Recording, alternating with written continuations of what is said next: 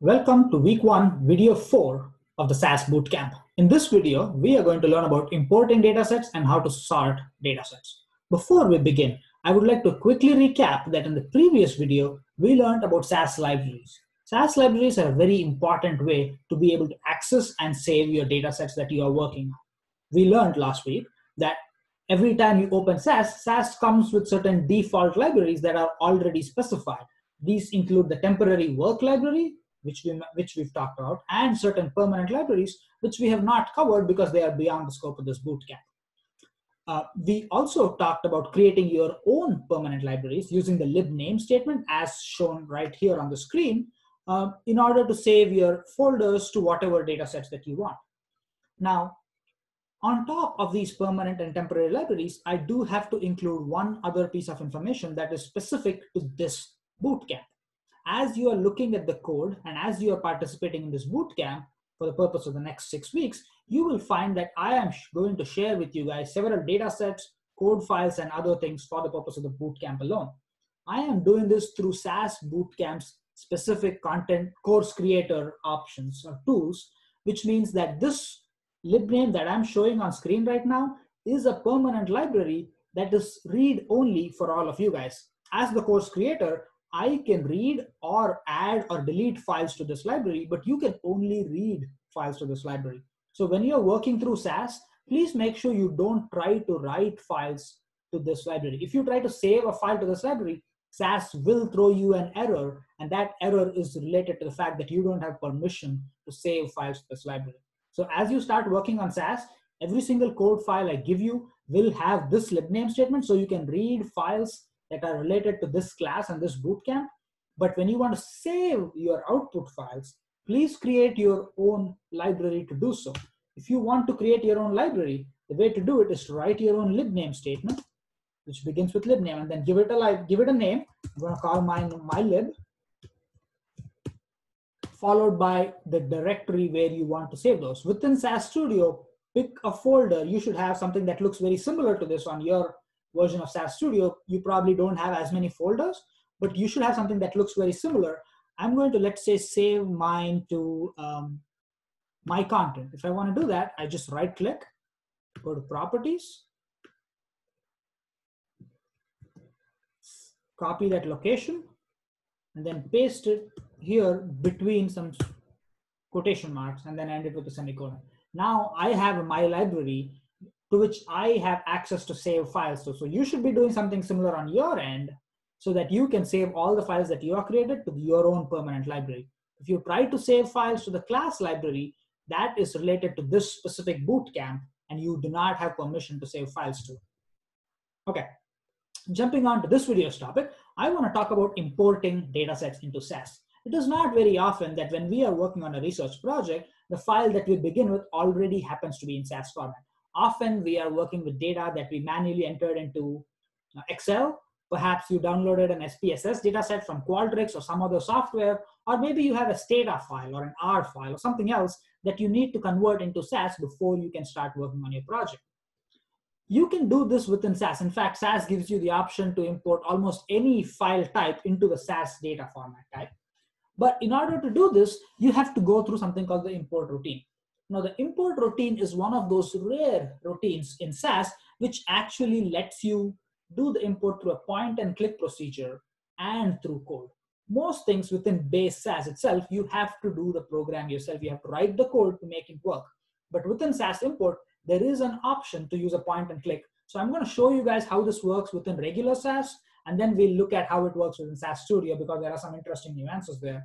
Uh, and then just keep in mind that the import procedure I'm going to show you is the very basic introductory import. Uh, within health services research in the pharmacy administration department where I work, importing is not something that is super common. We do have to import data sets from time to time, but we don't have to do um, various types of import. So, so I'm not going to go over all the nuances of import today. I'm just going to show you all the basic import. Couple things to remember as you're importing files. Uh, while you can import from many different types of file formats into SAS, I strongly, strongly recommend that you import from a data format such as a CSV file, a comma separated value file, or a TXT file, which is a text or a notepad file. Uh, Sometimes even SPSS or Stata files will be fine, but I strongly urge you not to import data into SAS directly from Excel. That's because Excel has some hidden formatting in the background that you can't usually see when you open a file, but they will throw your import routine off. And trying to uh, fix that import routine to import from Excel can get finicky and it's usually time taking. So I would recommend you convert whatever files you have into a CSV, a TXT format, or maybe even an SPSS or Stata format really before you import into SAS. For today's example, I am going to be importing this file that is called import underscore example. Let's open and look at it. This is a comma separated values file. It's being opened in Excel, but it is a CSV file. This file has 50 rows of data with the first row having the variable names, patient ID and marital status. This variable, uh, the first variable is just an ID for each individual. The second variable basically says if an individual is single, if they are married, or if they are divorced. So that's a three level variable with one or two or three. Keep in mind, this example is only using numeric variables for the import, but really you can import uh, string variables, character variables, you can import date variables, and any other types of variables as well. I'm just trying to keep this example as simple as possible. Okay, so let's go through the import routine. I'm going to first show how to do the point and click process, and then we'll show how to do the programming part as well. And we'll do that in regular SAS first and then switch to SAS Studio. So in order to start the point and click process, go to File on the top left of your cars uh, and then go to Import Data. Once you come here, you have to tell SAS what type of file format you have. I'm going to select comma separated values and hit next. And then I'm going to navigate to my folder where this data set is located. So there's my folder in week one. It's called import underscore example. I can click on options to see what options I have available to me. Uh, there is a important checkbox here that says get variable names from first row. If your CSV file does not have variables in the first row, please uncheck that. And if you uncheck it, uh, SAS will automatically assign some variable names for your variables. They're usually variable one, variable two, variable three, and so on and so forth. But if you do have variables, go ahead and check that box. So SAS understands that the first row of data is actually the second row in CSV because the first row is the variable names. Hit OK there, hit next, and then SAS asks you, where do you want to store this output SAS file? Now you can store that in any library you choose. The work library is the temporary default library. I have some permanent libraries here, but I'm just going to store this in work for now. And I'm going to call my file import. Import underscore example. That yeah, I'm going to call it import underscore example. I'm going to hit next. And this next screen of the import wizard basically tells you if you want to actually write code for doing the same import routine for which you're doing the point and click process. And SAS will let you write that code by SAS will write that code for you and save it into a file if you show it where to save it. So I'm going to say that I need it saved right here in my folder on my computer. I'm going to call that SAS program file import underscore example. So we say consistent with the variable names.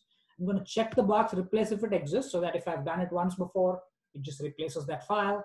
I'm going to hit, hit finish. So my, as soon as I hit okay there, my log showed a few lines. It basically said that all of these things were run. I'm going to scroll up to make sure there are no warnings or errors. I only see notes, which is good, which means the program successfully ran. And it tells me here that the dataset work.import underscore example has 50 observations and two variables. And you can see that the process actually took 0.07 seconds. So it's a pretty small data set and SAS can be efficient on most Marrow laptops these days. Um, I'm opening the file, you will observe that I am opening it from the Explorer tab on the left, and I'm actually going to the work library, which is where the file is located. And you'll see that this is the file. It has two variables, 50 rows. It's exactly as we saw it in the CSV file, so we know the import was successful. Every time you import a CSV file or any data set into SAS, I strongly recommend you scroll through it and look through it to make sure there are no importing errors. Uh, errors are often common when you are importing data sets into SAS. Now let's go back to the folder and look at the program that SAS saved as an output along with this import data set. I'm going to double click on it and you'll see this is the piece of code that SAS ran in the background when I hit the point and click options using the import wizard. So the point and click import wizard is useful, but if you have to do this again the next time and you cannot remember which options you chose, it's easier to depend on the code instead of depending on the point and click option. So what I like to do is I like to use this piece of code and I will copy it and I will paste it into my code here, into my project's code, so that the next time I'm working on this project, I know exactly what code I use to import the CSV file. And once you copy it, if you want, you can run it one more time, and it should give you the same exact output. So whether you do the point and click or whether you do the copy and paste, it's the same thing. Now, if you do look at the, uh, if you do use the code, you'll see that the code is pretty simple to understand as well. This is a procedure, so it starts with proc and ends with a run statement. Um, the other things here that are important to note are the out equals option tells you the name of the output file. Uh, this one, for example, is work.import underscore example, which means the import underscore example SAS file will be saved in the temporary work library. And if I close SAS, that SAS file will be automatically deleted. If I want to save it in a permanent data set, I can always change this to a permanent library like class.data import underscore example, which is a library that I had created at the, at the top of this file. Similarly, the data file option tells you what file to look at. This is just the folder path on my computer, and this is the import underscore example. Um, some of the other things on here are related to the options that we looked at in the point and click op process, but I'm not going to go over them for now. But this is the short and simple import process within SAS. Within SAS Studio, if you want to do an import, things are slightly different, not not at the essence of what is happening in the background, but the process itself is slightly different. Uh, let me show an example of how this works. I'm going to navigate to the same file we saw earlier, import underscore example.csv. Uh, I have uploaded this into my folders in SAS Studio. Uh, I will make sure this is available to you guys through the box folder so you can import it from there uh, into SAS Studio. Now the import underscore example CSV, there are two or three ways to import this file within SAS Studio. One, you can click on this button right here and click on import data. You can also click on um, this option right here. Um, excuse me, right here, there you go. Uh, you can click on new import data right here, which will also do the same thing for you. But the easiest way to import data into SAS Studio is to just click on that file you want to import and drag it into your workspace. It will automatically open a new tab for you when you do that and it'll give you a few display options. You can either look at the import purely as a point and click option by clicking on settings right here, which will show you what are the options you can do. Or you can look at purely the code version of the import, which SAS automatically generated for you. Or you can see a split screen, which is what I like to see, where you see a little bit of the point and click, and you can see the code that it generates when you change the options. The point and click part of SAS Studio is very similar to the import wizard we saw on the PC's SAS version. Um, you can see that the output file name is import and the library name is change. If you want to change that, you just go here and type whatever name you want, whatever library you want. Um, this is the checkbox for generating SAS variable names from the first row of data. If your first row of data does not contain variable names, please uncheck that box. Um, and here's, here's the code. This, is, this code reflects the option selected in this settings folder. And if you want to run it, just hit this, you don't have to select anything, just hit this running man. And then you can go to the log here and make sure there are no errors or warnings. And as I'm scrolling through, I'm only seeing notes in here, which is really good. If I only see notes, that means that the import routine ran very well. And I can look at the output data here to make sure that the data set is imported well. And as I'm seeing that, I can see that the data was imported just fine. So I don't have any problems with it. Now, if we wanted to do what we did with uh, SAS, we can go ahead and copy the import code into our code file. If you want to do that, you can go to the code part of the tab here, and this is the code. So if I copy and paste this code into the file, you should be able to import it through code without using point and click. Now keep in mind, the SAS Studio version of the import routine actually does a couple of different things. It imports the data set for you, which is what these two steps do, and it runs a proc contents, which is what we learned in the first video when we looked at um, uh, exploring a data set in SAS. You can delete this if you want, and it will not show you proc contents. If you leave it in, you'll see that the results tab actually has the proc contents output, which shows you the names of the variables, how many rows of data you have, how many variables you have, and some other uh, related information. So I'm going to copy and paste just this piece of code into my code file so that I know where I know what I know what I need to run if I want to import this the next time and I don't have to use the point and click option. One quick thing to note here is that This import routine is the exact same as the import code we saw in SAS, with the only difference being that in the data file option, instead of giving the whole file path and the file name, SAS actually uses the file name option. In the file name option, it basically says, this is the file I want to refer to, but I don't want to type that every single time. So I'm just going to call it ref file.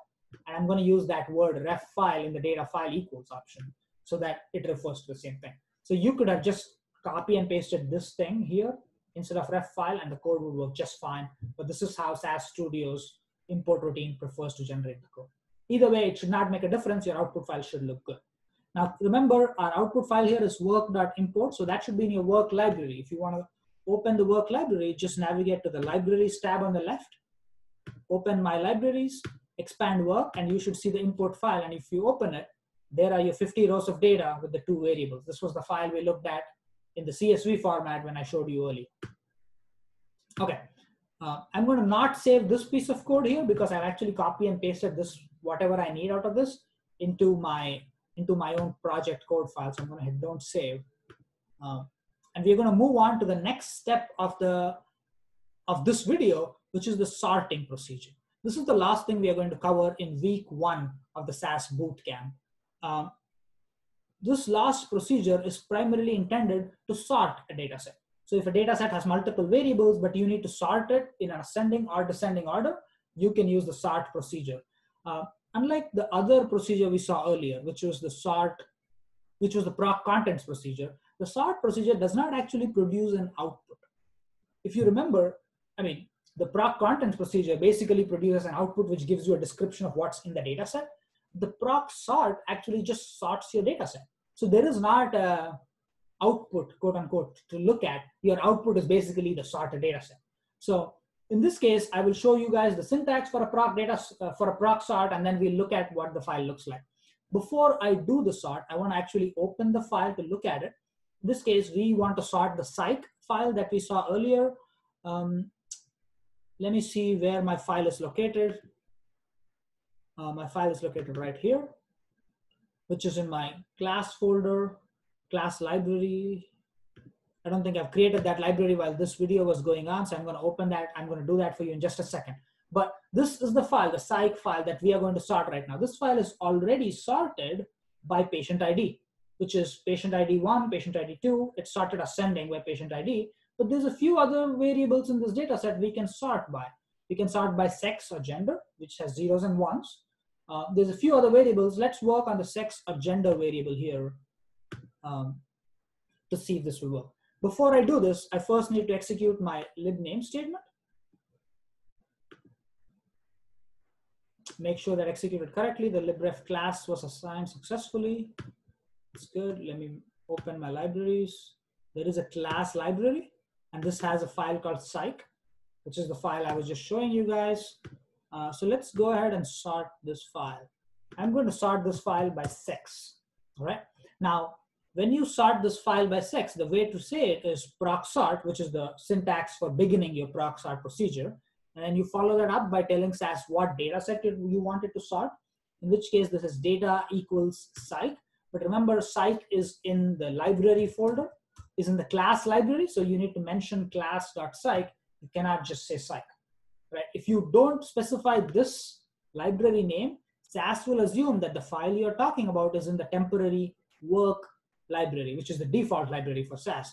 But if you look in the temporary work library, psych is not in there, it's in the class library.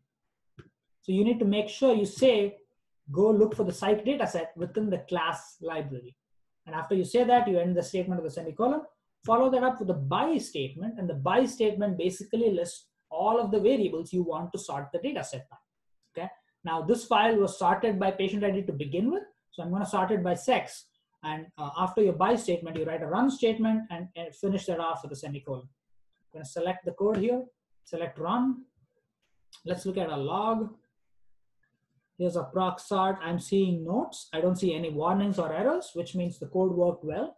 And you can make sure that it has adequate number of rows because it says here, the dataset class.psych has 50 observations on five variables. You can open your results, but there are no results this time, right?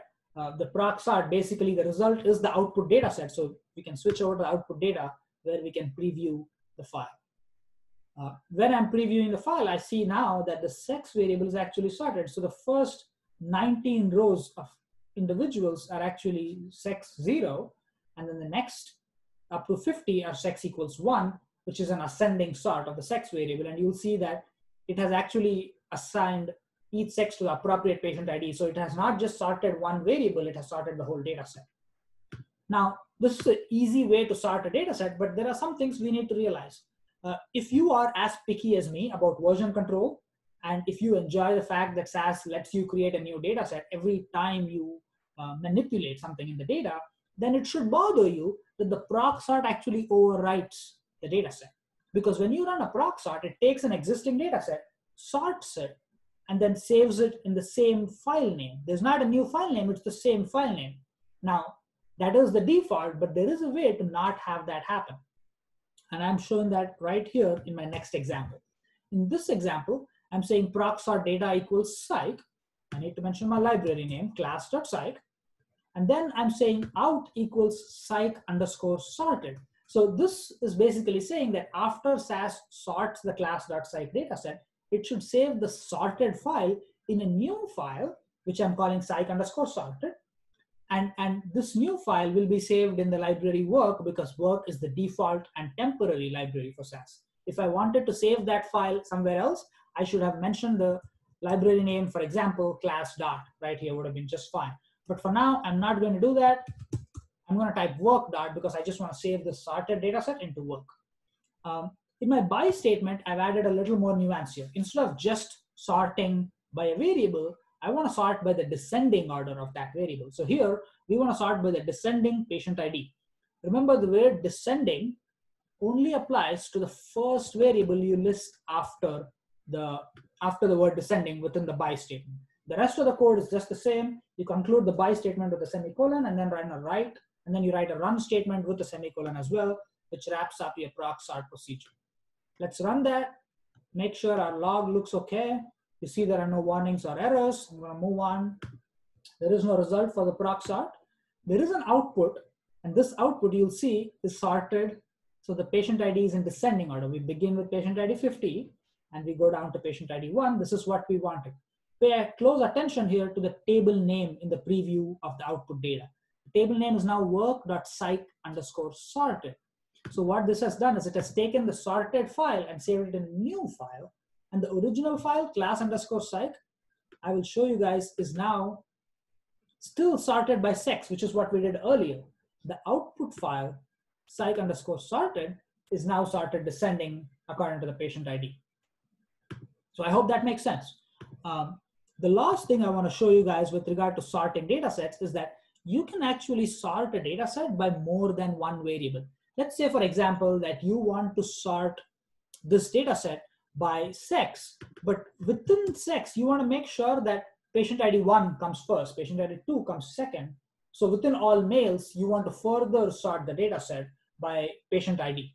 When you want to sort by more than one variable, you basically list all of your additional variables within the by statement. Nothing else in the proc sort procedure changes. So the first statement with proc sort data equals still has the dataset name class.psych. Uh, I'm saving my output sorted dataset in a work library.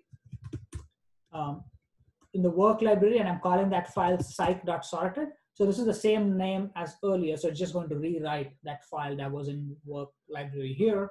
Uh, the by statement now includes two variables. Both the variable names are separated simply by a space with nothing else in between. No commas, no tabs, just a space. Um, and we finish that off with a semicolon, write our run statement followed by semicolon and run it. Keep in mind, because we have not used the descending option, both variables are going to be sorted in ascending order here. So I'm going to hit execute. Um, I, I find that I have an error in my code, and you'll see quickly the error says that file class.psych.data does not exist. Um, one thing you will learn in SAS as you start to work on these things is that errors are just a way of life when you are a SAS programmer. There are going to be errors all the time. In this case, it says it doesn't exist because I think I had a spelling mistake. I had a typo here. It's P-S-Y-C-H, not P-S-C-Y-H. So if I do this, my error should go away. let's look in the log. And you'll see this time there is no error, right? I just have notes, no warnings, no errors, which means my output data should look fine. Here's the output data psych underscore sorted. It's sorted first by sex. So all the males are at the top and the ones, I, the ones are male, the, uh, the zeros are male, the ones are female. So all the zeros are at the top, ones are at the bottom. And you will observe that within sex zero, patient ID is actually sorted in the ascending order, three, four, five, so on and so forth. And within sex one, we also have patient ID sorted in an ascending order, right? Uh, so that is the advantage of sorting by more than one variable. Uh, that concludes week one's worth of SAS Bootcamp. Um, I hope this was helpful. Please uh, look through your homework. I've posted a homework on your box folder along with the code file that I've worked on right here and some of the data sets that you need in order for you to work through your homework. The couple other things I will mention is that if you are working on this, you will come across errors. Uh, you will run into errors that you do not understand. If that happens, please feel free to reach out to me. You can tweet at me your questions. You can tweet at me about things that you figured out when you are uh, working on your SAS. And if you figured out an error and it took you some time, share it with me. You can tweet me at Dr. Sujith Ram. That is at D R S U J I T H R A M. Please use the hashtag SAS Bootcamp so that other people working on the SAS Bootcamp can also share their successes or their troubles with you. I will be monitoring that hashtag as well so that I can answer any of your questions. Um, look forward to seeing you next week. Please reach out if you have questions. Thank you.